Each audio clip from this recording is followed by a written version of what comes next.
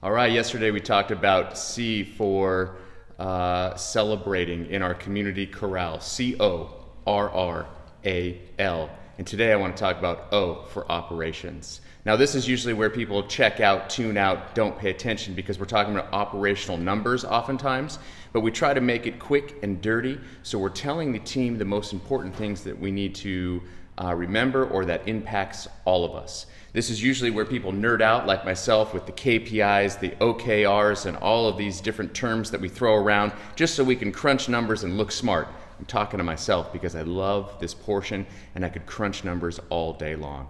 But for our individual or our specific attempt at our community corral and talking about operational numbers, what we try to do is look at how many active accounts how many active telephone numbers are we managing? How many people have we impacted? What is our, uh, our score when it comes to customer satisfaction? And so we look at the ways that the different departments can impact these crucial metrics that keep our business flowing and moving forward.